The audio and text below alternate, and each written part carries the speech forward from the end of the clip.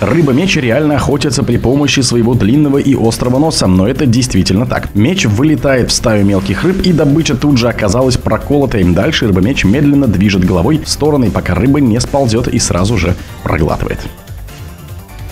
Ставь лайк и подписывайся на канал, чтобы не пропустить самое главное.